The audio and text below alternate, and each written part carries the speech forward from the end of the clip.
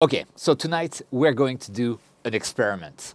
Uh, you see, I have here a beautiful mount. This is the ZWO AM5N. I have the SQA55 telescope on top of it. I have the QHY Minicam M8 setup. Everything is beautiful. Everything is polar aligned. The tripod and the mount, they're perfectly level. Everything's awesome. But what I'm going to do is something horrific. I am going to completely make the tripod and the mount not leveled at all. So let me show you. Hopefully you can see I have a nice block here and I'm going to put it under the tripod leg. Ooh, this feels dodgy. So now uh, this uh, mount is no longer level like at all.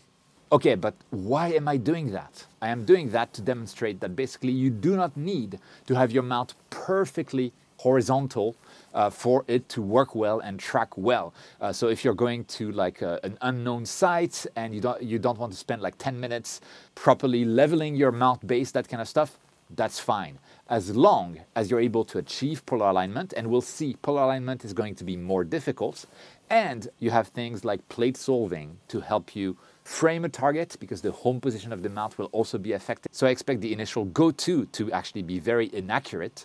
But as long as you have those conditions, plus you want to make sure that the mount and the equipment will not tip over. For me, it's a very light refractor and the uh, level isn't that horrible, even though it's uh, actually pretty bad. The more I look at it, the more I feel uncomfortable. But I'll show you that I'll be able to polar align the mount. I'll be able to target uh, a target. I'll be able to guide properly. It's going to all work. And I won't really have any issues with that. And the message isn't to say like, hey, you can uh, grossly have your mount base completely not leveled. Or it's not to say like, yeah, Cuiv said that I could have the mount uh, completely unleveled and then, you know, your whole equipment tips over during the night because it, it, it was too much off level and, and we get like a a tipping over event. You don't want that, right?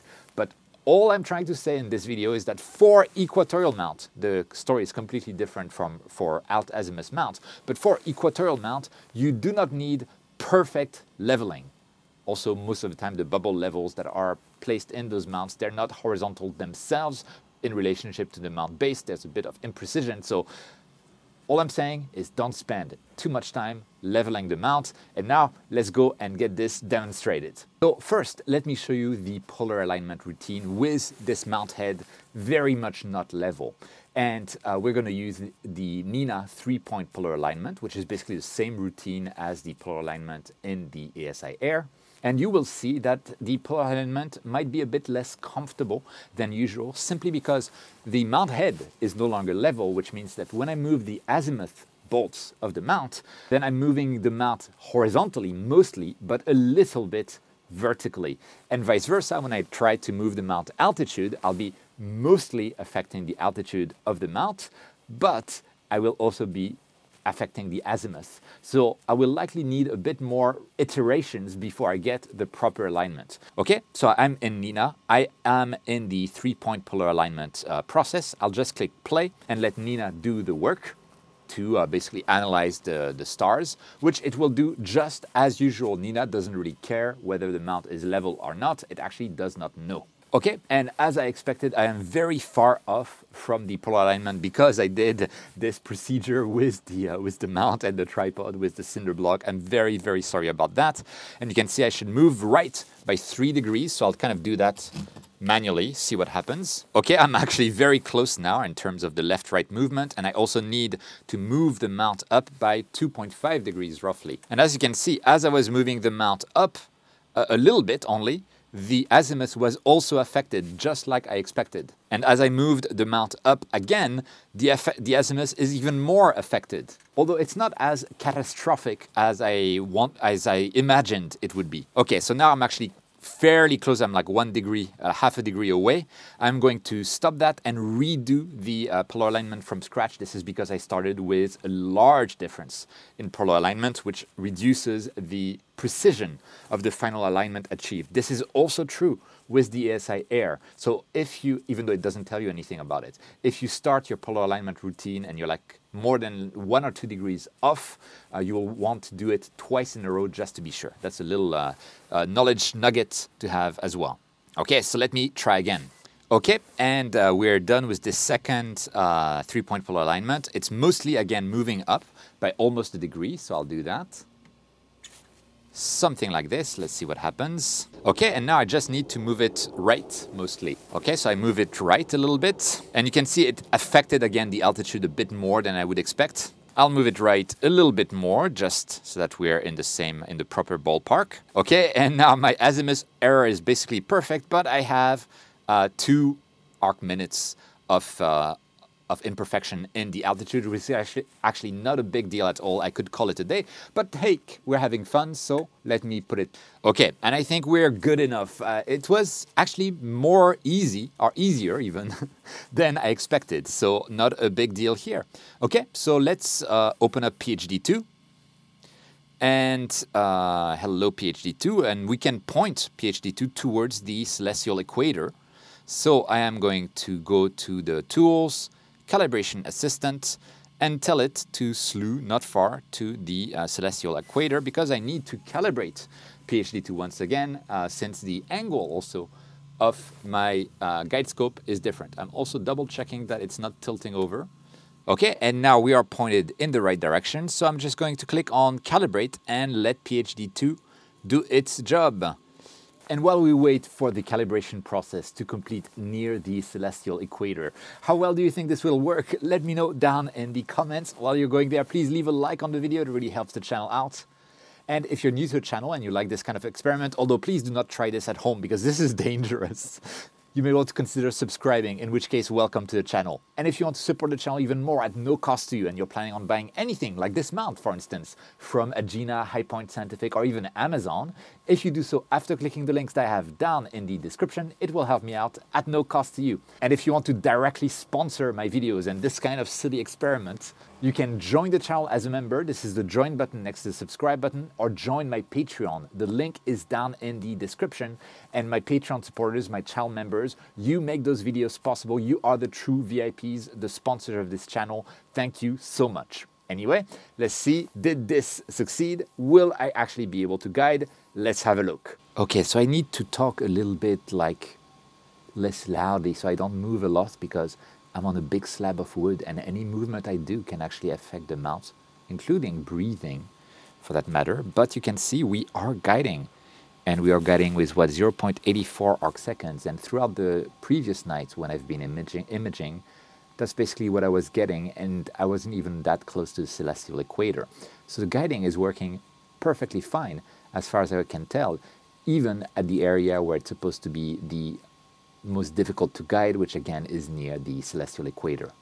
Okay, but what about going to a target? What happens if I try to do so? Because the home position of the mount is kind of skewed now by the fact that I'm not well leveled. So let's try that. Let me try to uh, slew to uh, random stars. So let's say Hamal. Okay, we are slew to the target, and now I'm going to use the plate solving to center the target. And my expectation is that we are quite far off, far off by roughly the same angle that the tripod is not leveled off by.